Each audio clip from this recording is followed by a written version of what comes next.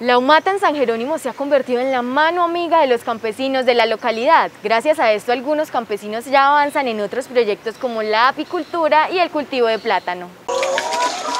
Asistencia técnica al campesinado y acompañamiento desde la siembra hasta la comercialización de sus productos es el quehacer de la humata de San Jerónimo, que al día de hoy está con varios proyectos. Bueno, actualmente aquí en este momento nos encontramos en las instalaciones del Instituto Agrícola, donde llevamos varios proyectos de gallina ponedora, pollo de engorde y uno muy importante que, que venimos trabajando ya hace año y medio, que es el de mejoramiento bovino a través de embriones.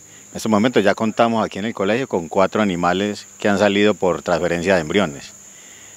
También en la zona alta venimos trabajando con los productores de, moda, de mora que tienen la Asociación Agropecuaria Frutos de Buenos Aires, que está integrada por, por 17 personas. Ellos producen mora, eh, eh, tomate de árbol, eh, aguacate y cebolla junca. Adicional, con la Asociación Agropecuaria El Cedro avanza en un proyecto de apicultura y plátano.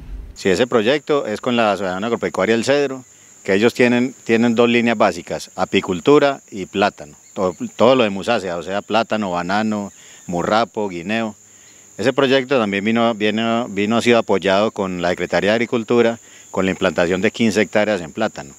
Ellos son 35 usuarios y ellos vienen trabajando ya hace dos años con, con ese proceso del plátano. Entre los productores está el señor Roberto Osorno, quien comercializa su producción en el casco urbano de San Jerónimo, pero también envía una parte a la ciudad de Medellín.